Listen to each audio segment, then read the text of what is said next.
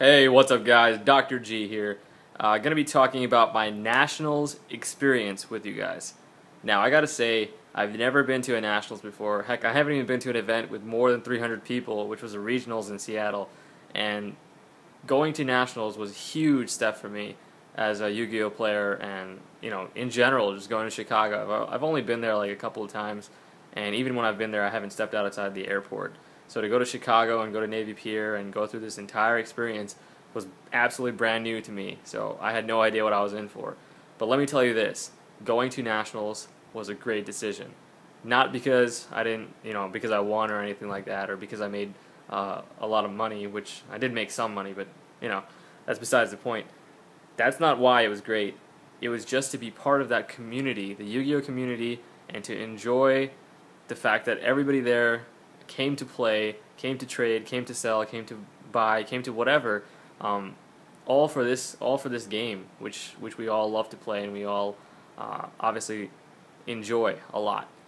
And to be part of that was breathtaking for me. I mean, it was a new experience, and I've never been to nationals before, and honestly, I had a great time. Um, as far as the main event goes, uh, it didn't really go in my favor, unfortunately. I tried my best. I mean, given my limited resources and the limited amount of time I gave myself to prepare for the event, I really didn't expect much. Uh, but I, I was kind of hoping I would make it a day two to give myself a chance. Unfortunately, I bubbled on day one and lost in my final round, um, finishing with 13 points. So I went with uh, there was eight rounds of Swiss that day, so I finished with a record of uh, four, three, and one up until go- going into the last round, I was four two and one, and I, I needed to win because you needed 16 points to advance to day two. But unfortunately, it just wasn't my night, and uh, I ended up losing to a Dark World player in game three. Where you know, I think he cheated me, but you know, I don't really care anymore. I mean, honestly, the event was just so much fun uh, in general, just to be there, be involved, and watch the feature matches on on the big screen, um, and just you know, be in that environment with all this all this buzz, all this excitement over this game, you know, that I enjoy so much. It was a completely different experience.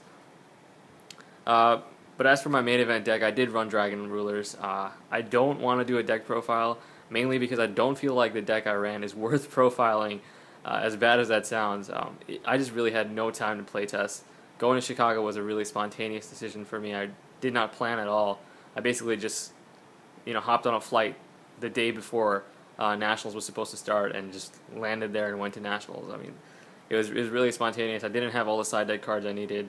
Um, I didn't main deck the right cards in my opinion. Obviously, I changed a lot of things uh, since nationals has ended after you know getting insight from some of the pro players and uh, some of the other players that were there. Um, definitely changed my deck a lot um, since then. But uh, yeah, so I'm not gonna do a profile of the deck I played there because uh, honestly, I, it, it was pretty bad in my opinion. Like compared to the other Dragon Ruler decks that are that are being played there, I, I made some pretty bad uh, tech choices. But you know, all that aside, I was just happy to be there, and I was happy to get this beautiful mat right here. Um, obviously, Mermails used to be my favorite deck. It still is my favorite deck, uh, pretty much of all time. Besides Lightsworn, pretty much tied. Um, but yeah, to get a mat, uh, you know, featuring Megalo and Lead is, is like the ultimate montage, the ultimate tribute to that deck, uh, which was you know in its time like best. And who knows? Maybe uh, after September first ban list, Megalo will shoot right back up, and Mermails will be a thing again. But you know we gotta wait and see what happens to the to the Dracossacks and the Super Rejuves and everything. but uh, yeah, the sleeves also like these sleeves are, you know, my first time I ever got these sleeves, and like you could just tell they're they are absolutely beautiful. Um, I wouldn't give these up. Like I wouldn't like people offered me money for the mat, money for the sleeves. I'm like, nah, there's no way I'm selling it. I mean, it's my first nationals. I'm keeping everything. Everything is like a you know memorabilia for, for what happened in Chicago and how much fun I had and everything. And oh my god, the lo- the location was ridiculous. Navy Pier is the first place you want to go when you go to Chicago. I mean, besides the pizzeria, because Chicago deep dish pizza is delicious. It, I'm I'm from New York, so I know what good pizza is. And when I tell you, if you go to Chicago, you need to try the deep dish pizza, you need to try the deep dish pizza. It is great. I mean, it's a completely different experience from New York pizza, but it is great. I had so much trouble trying to finish it because it's so heavy, but uh, it's still a great pizza, very delicious. I actually went to uh, a place called Pizzeria Due. Um, It's in downtown Chicago, the heart of Chicago. It's amazing. Please go there. If you go to Chicago, try the pizza. It's really good.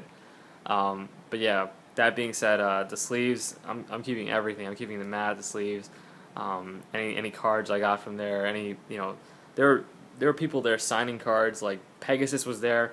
Like it was like basically reliving my childhood when I got to see uh, Pegasus and and Kaiba like battle it out. Um, you know, on stage and stuff. It was like, you know, w- blast from the past from 10 years ago when I first watched the show for the very first time. It was amazing. Um, but yeah, let me know what you guys think. Like, what, what, did you guys go to nationals? What do you think of nationals? Are you surprised with uh, which deck won nationals? And if you don't know, it was Dragon Rulers who ended up winning. Big shout out to Patrick Hoban who played great. Uh, watched him pretty much all of day two in his feature matches, and uh, he really most of the time outplayed his opponents. Obviously, you get a little lucky, but uh, he, he played really well, and uh, I feel like he deserved the win. So big shout out to Patrick and uh, all of ARG. Um, but yeah, Dragon Rulers, like big surprise that they were going to win. I, I didn't think it was a surprise. I was rooting for them. I was expecting them to win. Spellbooks is a great great deck, but Dragon Rulers is just something else. And plus, Eradicator is a card, so. um, but yeah, what did you guys think? Did you go to nationals? Did you have fun?